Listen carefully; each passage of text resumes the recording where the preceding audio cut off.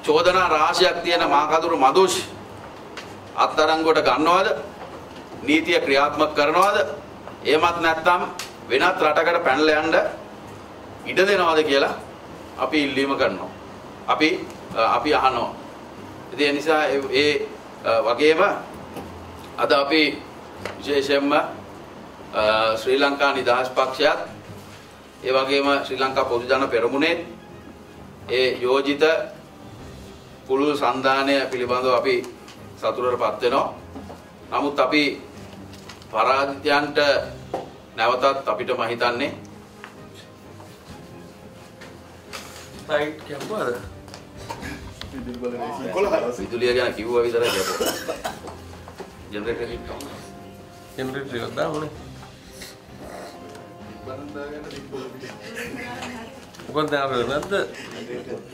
අගමැතිතුමාගේ generator දැන් දැන් දැන් අපිට ඇත්තටම වෙලා තියෙන්නේ අගමැතිතුමා කියපු විදිහට තමන්ගේ ජෙනරේටර් එක තමන්ට පාවිච්චි කරගන්න වෙලා තියෙන. ඒක තමයි අද අපේ රටේ අගමැතිතුමා එදා අර ජයා ජයවර්ධන මහත්තයා කිව්වා වගේම තමන්ගේ ආරක්ෂාව තමයන් සපය ගන්න ඕනේ වගේ තමන්ගේ විදුලිය තමන් ජනනය කරගන්න තමයි රනිල් වික්‍රමසිංහ මහත්තයා කියන්නේ. ඉතින් ඒක අද අපේ ඇස්පන අපිටම පෙන්න කාරණයක්.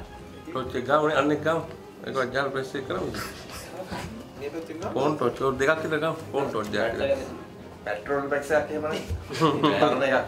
විශ් කරලා ගන්න. කලින් දවසේ දැන් ඔබතුමාලට තේරෙනවා නේද මොනතරම් අපහසුතාවයකට මේ රට අද පත් වෙලා තියෙනවද කියන කාරණාව මේ අපි මාධ්‍ය සාකච්ඡාවක් පමණයි පවත්වන්නේ. හැබැයි අනිත් පැත්තෙන් බලන්න රටේ ආර්ථිකයට වෙන හානිය කොහොමද කියලා. හැබැයි ආණ්ඩුව මේ ඔක්කොම විහිළුවට අරගෙන ඉන්නවා කරදරයක් නැහැ.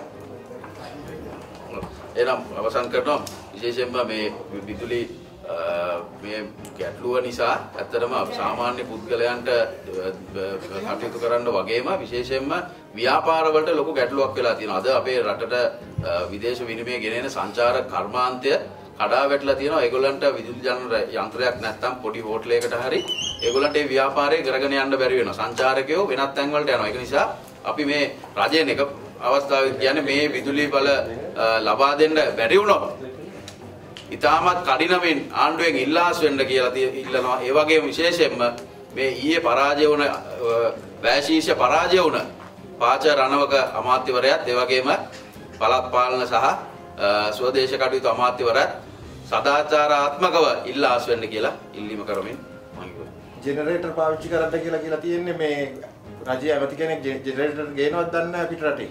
අනිවාර්යයෙන්ම දේශපාලඥයෝ සහ විදුලි බල මණ්ඩලයේ ඉන්න සමහරක් නිලධාරි විදුලි බල අමාත්‍යාංශයේ ඉන්න සමහරක් ලේකම්තුමා ඇතුළු ඒ කණ්ඩායමේ තියෙන සම්බන්ධතාවයේ මතම තමයි විදුලි ජනන යන්ත්‍ර එක එක සමාගම් වලින් යන්ත්‍ර වලින් විදුලිය මිලදී ගන්න. දැන් මේ වෙනකොටම ලංකාවට විදුලි ජනන යන්ත්‍ර 50ක් ගෙනල්ලා තියෙනවා. හැබැයි මේ 50 කීයක් ක්‍රියාත්මක වෙනවද කියන කාරණාව සම්බන්ධයෙන් අපිට බරපතල සැකයක් තියෙනවා. මේවා ක්‍රියාත්මක වෙන්නේ නැහැ. මේවා ගෙනාවේ ආනයනය කරේ හදිසි විදුලි බිඳ වැටීමක් සිදු වුණොත් එහෙම ස්ථාන 50ක ස්ථානගත කරලා ප්‍රදේශ 50ක ස්ථානගත කරලා ඒ විදුලිය නිෂ්පාදනය කරන්න. හැබැයි ඒවා අද සියල්ල අකර්මණ්‍ය වෙලා තියෙනවා. එතකොට මේ විදුලි යන්ත්‍ර ජනන යන්ත්‍ර 50 ගෙනීම සම්බන්ධයෙන් සිදුවෙච්ච දූෂණයට දේශපාලඥයෙක් සම්බන්ධයි කියන කාරණාව මේ වෙනකොට එළි වෙලා තියෙනවා.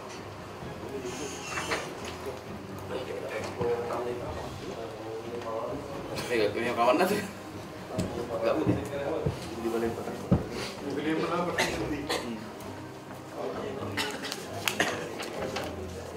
ආයුබෝවන් මම තාරක බාලසූරිය මම හිතන්නේ අද රටේ උද්ගත වෙලා තිබෙන තත්ත්වය ඇත්ත වශයෙන්ම වහන්සේලාට මීට වඩා වචන වලින් විග්‍රහ කරන්න අමාරුයි. හැබැයි කෙසේ වෙතත් දැන් අපේ පැත්තෙත් අපේ ඇමති කෙනෙක් හිටියා විදුලි බල බලා ගන්නට. ඉතින් මම හිතන්නේ එතුමාටත් විශාල වගකීමක් තිබෙනවා.